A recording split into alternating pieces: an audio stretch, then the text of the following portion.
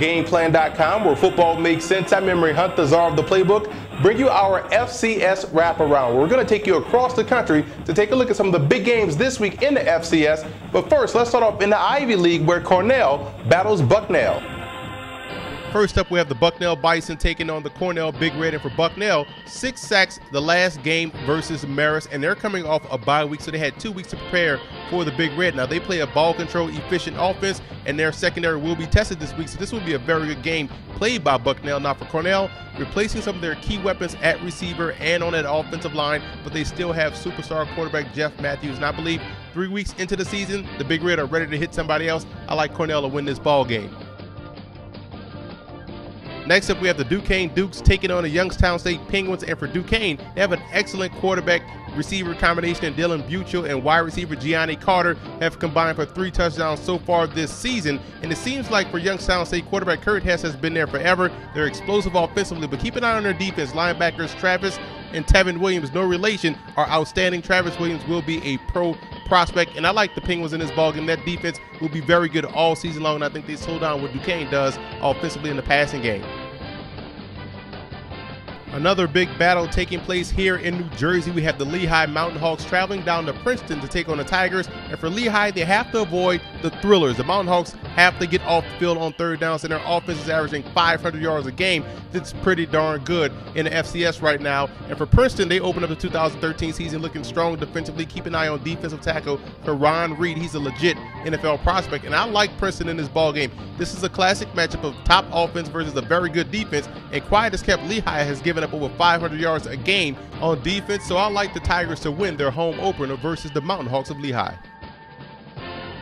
Next, we have the Tennessee State Tigers traveling to take on the Tennessee Tech Golden Eagles. Now, the Tigers get back their quarterback, Michael German, and their defense is very strong. AC Leonard, the tight end, should have a big day catching the football. Now, for Tennessee Tech, the Eagles' offense is also very good. They can beat you in many different ways. Wide receiver Cody Matthews is a big play waiting to happen. But I like Tennessee State in this ballgame. The defense plus the normalcy that returns to offense with German, I like them to win this ball game on the road.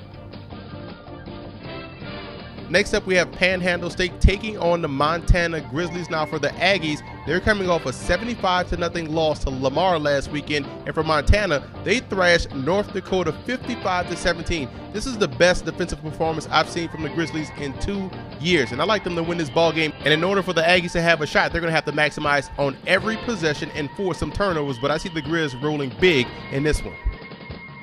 Big battle down in Texas as Sam Houston State hosts Incarnate Word. Now, for the Cardinals, they're riding a two game winning streak, and their offensive explosion is led by dual threat quarterback Trent Brittain. Now, for Sam Houston State, Brian Bell, the quarterback, must eliminate the passing miscues in order for these guys to have some success. Defensively, this is still a Bearkats defense that's very tough, and I'm a big fan of their linebacker, Tanner Brock, who's a legit NFL prospect. Look for Sam Houston State to win this one big at home. And finally, the spotlight game of the week is between the Delaware State Hornets as they travel out to Fargo, North Dakota to take on the Bison of North Dakota State. And this is a spotlight game of the week. ESPN Game Day will be out there in attendance. Now, for Delaware State to have a chance, they have to get Milton Williams, the outstanding receiver, involved in the passing game early. And he's going to have to win that battle between him and Marcus Williams throughout the course of the matchup. Now, for NDSU, their running game sets the tone for how well they do offensively. If they can control the line of scrimmage, they're going to ultimately run the football, operate off play action, do a great job. But defensively, I like what I see. Grant Olson at linebacker, Marcus Williams at corner. I think the Bison put on an impressive show for ESPN and showed the FCS world and the rest of the country how dominant of a football team the Bison really are. And I want to give a huge shout out to our FCS sponsors at championshipsubdivision.com, the fine folks at egriz.com, collegesportingnews.com has been a great sponsor as well, and also College Sports Journal, catfans.com, and finally the fine folks at anygivensaturday.com. Thanks to all of our sponsors that really show support for football game plan and FCS football.